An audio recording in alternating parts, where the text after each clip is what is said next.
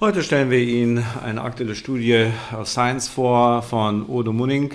Es geht um den Tragen von SARS-CoV-2 äh, in Nerzfarmen zwischen Menschen und äh, Nerzen und ähm, äh, und Menschen.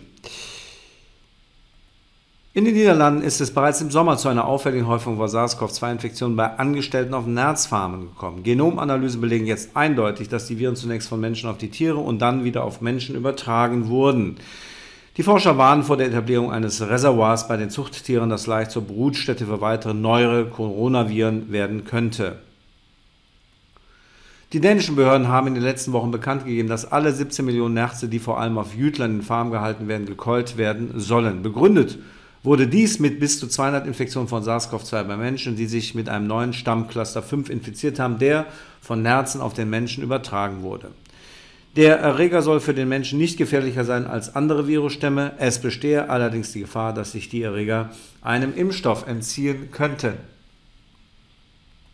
Virusforscher aus den Niederlanden haben die Meldung nicht überrascht. Dort ist es ab April ebenfalls zu zahlreichen Ausbrüchen in Nachtsfarmen gekommen, auf die die Veterinärbehörden mit Massentötung der Tiere reagiert haben.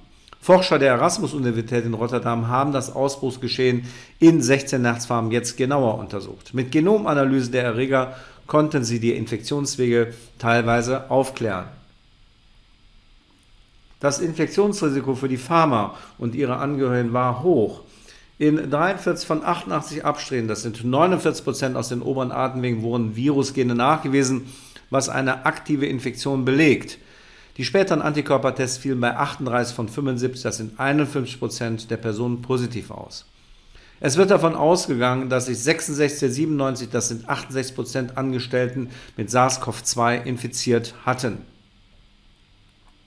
Schon die Untersuchung der ersten Farm lieferte Hinweise, dass die Viren von Menschen auf die Tiere übertragen werden. Vier von fünf Angestellten gaben an, dass sie unter Atemwegsinfektionen gelitten hatten, bevor auch die Nerze erkrankten. Auch auf einigen anderen Farmen gingen die Infektionen bei den Angestellten in Erkrankungen bei den Nerzen voraus. Der Vergleich der Virusgenome ergab aber auch, dass einige Menschen sich bei den Tieren angesteckt haben mussten.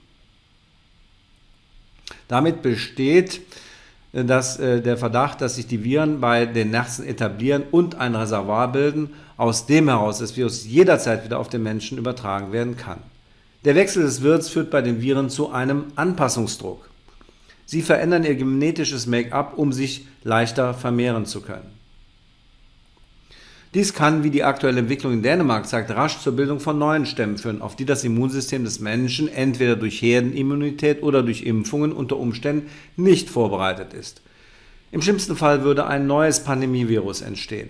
In den letzten Monaten hat es zahlreiche Berichte über SARS-CoV-2-Infektionen bei Tieren gegeben, darunter Hunde und Katzen. Auch Zootiere, Tiger und Löwen sind gefährdet. In keinem Fall wurde jedoch wie jetzt bei Nerzen eine Rückübertragung auf den Menschen nachgewiesen. Nach Angaben der WHO wurden bislang neben den Niederlanden und Dänemark auch aus Italien, Schweden, Spanien und den USA mit SARS-CoV-2 infizierte Nerze gemeldet. Besorgniserregend sei dabei bisher aber lediglich die Cluster 5 genannte Mutation des Virus in Dänemark, erklärte die WHO. Wissenschaftler befürchten, dass diese Mutation die Wirksamkeit künftiger Impfstoffe beeinträchtigen könnte. Weitere Informationen und Ergebnisse entnehmen Sie der aktuellen Publikation in Science.